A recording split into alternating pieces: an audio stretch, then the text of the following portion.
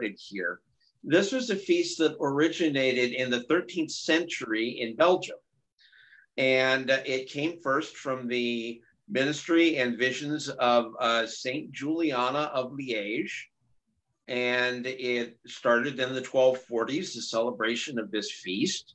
And it spread to the Universal Church um, in the, about 1275. And the original author of the liturgies for this day was St. Thomas Aquinas himself. So, really, a, a very interesting pedigree there. Uh, the readings today are very interesting. Uh, John's Gospel, John 6, is where the Gospel reading is taken from. And chapter 6 in the Gospel of John is the Eucharistic chapel chapter. Unlike the synoptic gospels where Jesus talks about the Eucharist at the Last Supper, John talks about the Eucharist here. And what he says to his audience is very shocking. In fact, they say, How can this man give us his body and blood to drink and to eat? And Jesus says, Unless you eat my body and drink my blood, you will not have life within you. Uh, very central to us is Catholics. Um, and also the the the you it's it's the parallel driven is driven by the first reading where Moses speaks about uh, God is talking to the ancient Israelites and saying, "Remember that I fed you in the desert." God feeds us is a big theme of this day and something we're called to take on board, something we're called to meditate on and reflect on as we look at this day. And another thing that the Eucharist does is it creates a community. And that's shown in our second reading, where it, Paul talks about how we are of one, just as one loaf is a body of Christ, we are all part because we're sharers in the one loaf. Uh, in commenting on the Eucharist, St. Augustine talked about the bond of charity created by the Eucharist. And that's something that St. Gaspar del Bufalo picked up on in fact, we as missionaries of the precious blood don't take vows, we live by the bond of charity. And so that's kind of the start off. Um, what are your thoughts about this day, Vicki? I'm going to let Tim jump in because he has a quick announcement before I begin. Yeah, I just wanted to say if you uh, if you just joined us, um, we're this is tapping the wine cellar from the missionaries of the Precious Blood, Kansas City Province. And we've got Father Keith, who is just speaking, and Vicky Otto, who's the director of Companions, who's going to be sharing just a little bit about the the um, the readings for this week. Uh, as we uh, go on this, uh, you can. Um, I really encourage you to make comments or thought, share your thoughts or questions, as well as answer the question that Father Keith posed to us earlier: is how you have been fed by God during the pandemic without the Eucharist. So, uh, Vicky, could you uh, tell us what you're what you're thinking, what you've been reflecting on? I come to this feast with a past history working in the interfaith community.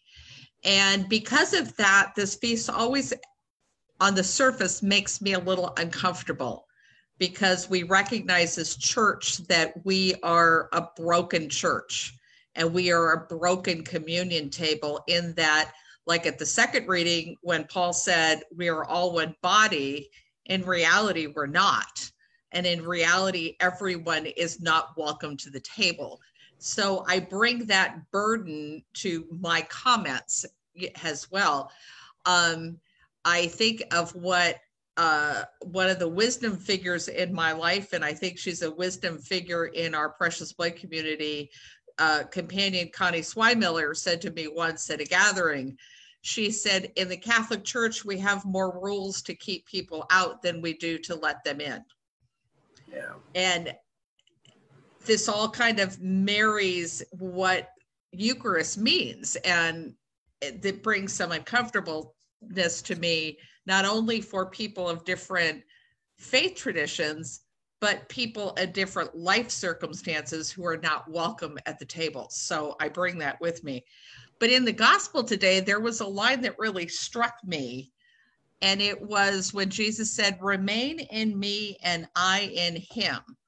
Because the word abide, to live in, occurs 40 times in the Gospel of John.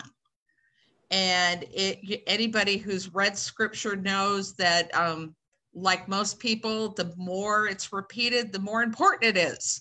So remain in me, abide in me, and I in him. So it emphasizes that we're not to have a superficial relationship with Jesus or a superficial relationship with God.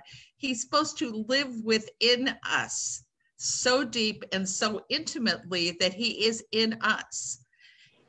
And so I bring that along with how do we as communities say who's in or out when if we have such a deep relationship who are we to judge to to use the phrase of pope francis about who's in or who's out eh, whether they could receive eucharist or not so I find that interesting. Jesus is the one who dwells in God and he dwells in us. And so God dwells in us. So there's that intimate relationship of communion that is much deeper than that five minute me and Jesus moment that happens at Sunday liturgy. So I'll start with that because I know that's um, a loaded, a, was a loaded few minutes. you know, Vicki, uh, you know, you're talking about the, um, you know, a table, you know, the, the table and being with people. And, um, you know, I think that, you know, the, the word abide, uh, that, that jumped out at me as well. And, uh, I mean, part of it was, is that at, at my wedding, um, uh, the homilist talked about, you know, abiding being really important in any relationship and including a, a marriage and, you know, being with each other. Um, and, and then also he talked about how important that was to, you know, in, in my life and in my wife's life, uh, you know, before that. Um, and, and I was kind of thinking about that, the table, uh, you know, I think the healthiest tables I've ever been a part, um, whether that's family, community, uh, you know, friends, um, you know, when I've been, been at people's homes or when people have come into my own home or when we've been sharing uh, a Eucharistic meal or, uh, or you know wherever we have a meal with each other wherever we break bread with someone else um, uh, is that the healthy ones are where people are listening to each other uh, places where we're where we're uh, hearing each other's stories um, and and not thinking well you know right away well i'm going to respond with what i hear but taking in what we hear and, and, I'm, and i've been thinking especially a lot about this with um, you know over the last few weeks i mean i've been thinking about this a lot is um, you know, listening to the stories of people whose stories aren't often heard, uh, whether that's in the media, in in our in our lives, whether we have connections with people, um, and I'm thinking especially of you know African Americans and people of color and and people from outside the United States. Um, and how do we how do how do as individuals and as communities we really need to be challenged to listen to each other and, and, listen to the stories of people who have been hurt, whose whose pain is real, whose pain may have been caused by me, um, or or in, in, the case of um, you know police brutality or systemic racism, you know how those stories, um, hearing those stories of how that has affected, you know, people and communities and and um, and, really reflecting on like how can I be a part of making sure that that voice is heard, that I'm listening, and that we're also doing something uh, about that. Um, and, and, so that's that's kind of where I've been with with with this, you know, with this over the last few weeks, um, and especially when you're talking about uh, you know we're, when we're talking about the eucharist and, and, and sitting down and eating with each other. So um, I'm, I'm kind of curious to hear people's thoughts on facebook and also uh, father keith and, and vicki what kind of uh, uh, other things do you see in the scriptures for this weekend? I'm always surprised because um, if you're ever if you're in parish life, one of the things you hear all the time is when there is a situation that occurs in at in a parish, the natural response is, well, let's have a mass about this. Let's do a mass and bring people together. But Tim, I think you hit right on the money. You can't bring people to the Eucharist. You can't bring people together if they first haven't sat down and gotten to know each other and shared the story. Uh, Eucharist should be the end result, not the band aid to piece it all together. And so I think you're really hitting on something. And I was reminiscing as I was thinking about this. Um, I remember as a kid, we learned um, being a cradle Catholic, and I know I was a kid when the dinosaurs walked on the earth, um, that Mass still counted if you got to church before they took the veil off the chalice. And we'll see how many of our listeners can remember what that actually means. Um, so we just kind of didn't regard the whole table of the word. So, how can we appreciate the table of the Eucharist if we don't appreciate the table of the word? How can Jesus abide in us if we don't listen and take in the words of Jesus to learn from him. Yeah, I, I agree with that. And and to give you a little bit of my story, which you may or may not know, I'm a convert to Catholicism. I did not become Catholic till I was 24 years old. And I grew up a Presbyterian. I went to a Methodist college in central Missouri, now called Central Methodist University and uh, I worked for Disciples of Christ Church there. And so I've been around the block a few times. Uh, I think that really what we need to focus on as Catholics and as Christians in general is what we have in common. And that's something that we're really leaving behind. We're really working as a country, we're, we're kind of working to exclude people from the American dream.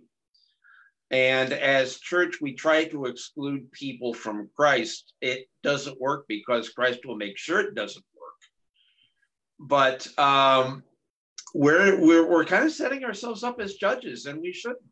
We do this at our peril, we do this at our spiritual peril. Mm-hmm. And to recognize that even, even though we have different ways of acclaiming Christ, we all but those of us that call ourselves Christians generally believe that Jesus is the savior of the world.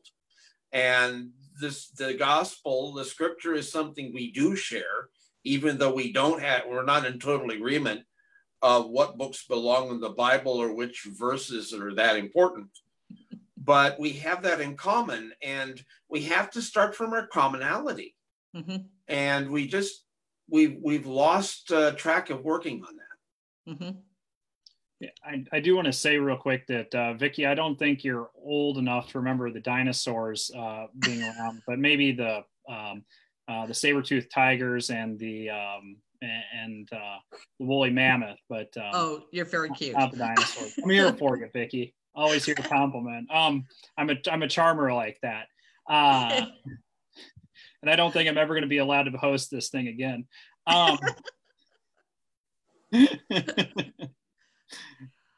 I, I really like the idea, especially in our world when we're not able as Catholics to receive communion. You know, many of the churches are opening it up, opening up, and they're opening in a very limited fashion. So we have to celebrate Eucharist in different ways. And I think the sharing the stories becomes so prevalent now because um, we can't have that moment, that Eucharistic moment at the table. Um, I have found that as I have listened to masses online during the pandemic, I the liturgy of the word um, and the preaching has become more profound for me because I'm able to focus on it more and not just skate through the liturgy like we often do as Catholics. Yeah, yeah. I was thinking of something St. Augustine said about the Eucharist. And, and he said, Our challenge in the Eucharist is to become what we eat and drink. And that's something that helped bring me to Catholicism to start with. But I think it's something that you can challenge us all as Christians because if we're all part of the one lo- loaf, uh, as church, we're called to be Eucharist for the world, we ourselves and and that's uh, and, and, how are we Christ for the world? How do we help feed the world? How do we help heal the world? I think is just as valid a thing for us as um, Catholics is sharing the Eucharist. And and I've missed the Eucharist too. I mean, I think there's a real disconnect in um, our lives as Catholics and our lives of faith, in that um, I learned from the first pastor I worked for. He called Eucharist, he said one of the most profound moments for him as a priest is when he could go to the bedside of someone who's dying and share communion, viaticum, food for the journey. And I know that for many people don't realize that the food that we receive at liturgy on Sunday, that body and blood of Christ, is not a unique me and Jesus moment. It's food for our journey because we're supposed to, like the disciples, go down from the mountain and go back out to the world and continue to bring forth the kingdom of God. And that Eucharist sustains us and gives us energy. If it's the 21st century, you know, maybe our our our uh, children, grandchildren, great grandchildren, they'll call it the energy bar of faith. I, you know. very good, very good. When I was uh, going to school, things that I learned about the Eucharist, I learned are four things take, bless, break, share. And focusing on what we get kind of goes around all of that. If we're just focused on getting the cookie, as the kid might say, um, because the action of Eucharist is all of these. And it's not just the action of the Eucharist when we celebrate it together, but it's the action when we live our lives as part of the body of Christ, I would think. And being in communion becomes so important. Again, to break away from that uh, me and Jesus moment to recognize, you know, I wish I'd had a nickel for every time people have said, well, why do I have to go to church on Sunday? And it's not only to be in communion with God, it's to be in communion with each other and to bring forth that body of Christ and to make that body of Christ come to life. So I'm a little bit curious, you know, Father Keith, you posted that you you posed the question, you know, how have you been fed during the pandemic? Um, so I'm gonna mind if I turn it around on y'all and hear what you have to think about that. Uh, I know you hate when I do that to you. Thank you, Tim. It's a great question. You're, do, you're doing a great job, Tim. Uh,